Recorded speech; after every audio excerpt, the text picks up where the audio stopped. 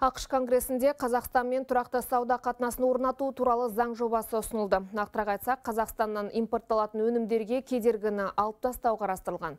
Егер құжат қабылданса екі ел арасындағы тұрақты саудаға толық мүмкіндік бермейтін джексон веник түзетулерінің күші жойылады. Осыдан 48 жыл бұрын кеңес одағына салынған шектеулер қазақстаннан әлі күнге дейін алынбаған. Біздің телеарна тілшілері бұл мәселені бірнеше рет көтерген еді. Вашингтоннан меншікті тілшіміз нұрбек бекен тарқасын 1974 жылы конгрессмендер Генри Джексон мен Чарльз Веник кеңес үкіметімен сауда саттықты шектейтін заңға түзету енгізуді ұсынады. Терең байланысқа кедергі келтіретін бұл құжат Джексон Веник түзетуі деген атаумен таныс. Ол тіпті кеңес одағының мұрагері Ресейден қашан алынған. Қазақстан тәуелсіздік алғалы бері осы Джексон Веник түзетуін жою жөнінде бірнеше мәрте ұсыныс жасады. Бұл жолы құжат жобасын ұсынған депутаттардың бірі Дарин Лахут Қазақстанға қатысты осы ескірген түзетулерді алып тастау ақштың орталық азиядағы сауда мүдделерін нығайту үшін ақылға қонымды қадам деді. Ұсынысты енгізген қазақстан ақш достық тобының мүшелері 1974 жылғы сауда туралы заңның төртінші бөлімін қазақстан өнімдеріне қолдануды тоқтату керегін айтып отыр. Бұл түзетулер еврейлердің көші қонына кедергі жасаған кеңес одағына қарсы салынған шектеу болатын.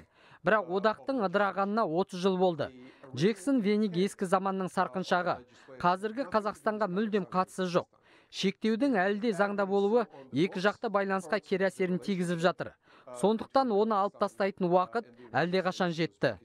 118 конгрестің депутаттары енгізген ұсынысты алдымен өкілдер палатасы мақұлдауы керек. Одан әрі сенаттың қабылдауына жіберіледі. Жалпы конгрестің төменгі палатасындағы депутаттар екі жыл сайын сайланады. Қазіргі халық қалаулыларының мандаты 2024 жылдың соңына дейін жалғасады. Олар осы уақыт аралығында өздері ұсынған құжатты қабылдауға тырысады.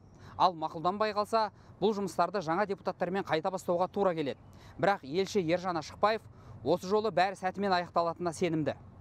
Джексон веник түзетуінің күші жойылады деген сенім бар. Сондықтан бұл бағытта да жұмысымызды жалғастыратын боламыз. Былтыр қазақстан мен ақш арасындағы сауда айналымы 40 процентке артып 3 миллиард долларға жетті. Егер джексон веник түзету алынып тасталса бұл көрсеткіш одан әрі артады дейді сарапшылар. Қазақстанға қатысты осы джексон веник түзетуі конгресс қарауына 12 рет жіберіліп отыр.